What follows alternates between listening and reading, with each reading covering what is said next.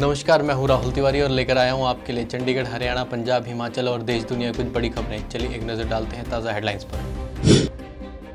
HRD मंत्रालय का नाम बदलकर किया शिक्षा मंत्रालय। केंद्र सरकार की नई शिक्षा नीति को मंजूरी। अब कोई भी विद्यार्थी चल रहे कोर्स के बीच में छोड़कर दूसरे कोर्स में ले सकता है दाखिला।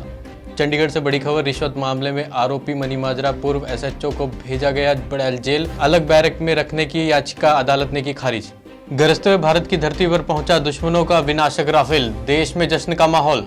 मारुति सुजुकी को दो सौ उनचास करोड़ रुपए का घाटा। एक साल पहले 1435 करोड़ का हुआ था फ़ायदा। स्पाइस जेट को 807 करोड़ का नुकसान। खुशखबरी, ऑस्ट्रेलिया ने भी शुरू किया स्टडी वीज़ा देना। फ़्लाइट शुरू होते ही दिया जाएगा निमंत्रण। पंजाब में हरियाणा के जिला अदालतों को मिले 50 नए जज। हरियाणा में विधायकों का बढ़ेगा रुतबा। लाल बत्ती हटाने के बाद अब लगा सकेंगे झंडी। मंडी ज़िले में सात कोरोना पॉजिटिव, अस्पताल की एक और कर्मचारी मिली संक्रमित। अब खबर विस्तार से।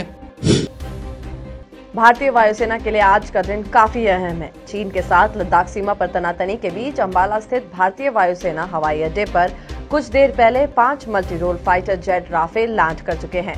रक्षा विशेषज्ञ के अनुसार इन विमानों के मिलने के बाद भारत की चीन और पाकिस्तान की बड़ी बढ़त हासिल हो गई है।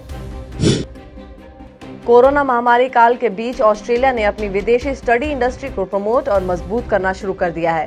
उन्होंने ऑनलाइन आवेदन करने वालों को वीज़ा जारी करना शुरू कर दिया है। विद्यार्थियों को हिदायत दी गई है कि वह फ़्लाइट शुरू होते ही ऑस्ट्रेलिया पहुँच जाएँ।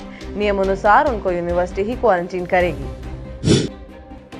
पंजाब एवं हरियाणा की जिला अदालतों में, जहाँ जजों की काफ़ी देर से कमी महसूस की जा रही है, अब हाईकोर्ट ने जिला अदालतों में 50 नए जज नियुक्त कर दिए हैं। इन जजों का चयन हाल ही में हुआ था।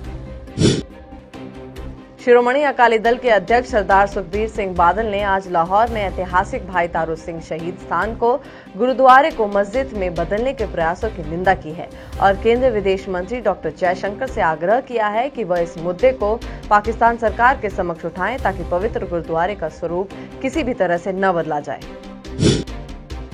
लाल बत्ती हत्या के बाद से परेशानी झेल रहे हरियाणा के विधायकों के लिए खुशखबरी है। विधानसभा अध्यक्ष ज्ञानचंद गुप्ता ने उनकी पहचान को बुलंद करने के लिए उनकी गाड़ियों पर झंडी लगाने का रास्ता साफ़ कर दिया है। विस अध्यक्ष ने मंगलवार को स्वयं माननीय के वाहनों पर लगाने वाली झंडी को लॉन्च किया। हिमाचल प्रदेश के मंडी ज़िले में बुधवार को सात कोरोना पॉजिटिव मामले आए हैं। इनमें से एक जनरल अस्पताल का रविनगर निवासी सफ़ाई कर्मचारी, दूसरा चचयोत का टैक्सी चालक है जो पहले पॉजिटिव आए सेना के जवान को लेकर घर आया था। जबकि तीसरा ब्लह के सलवाहन का है। देर रात तक चली सैंपल जाँच में तीनों पॉजिटिव पाए गए हैं। अब तक के लिए बस इतना ही। फिर लौटूँगा आपके लिए देश दुनिया की कुछ बड़ी खबरें लेकर। तब तक के लिए धन्यवाद। ताज़ा अपडेट्स व बड़ी खबरों के लिए सब्सक्राइब करें आज प्रकाश टीवी और बेल आइकन दबाना न भूलें।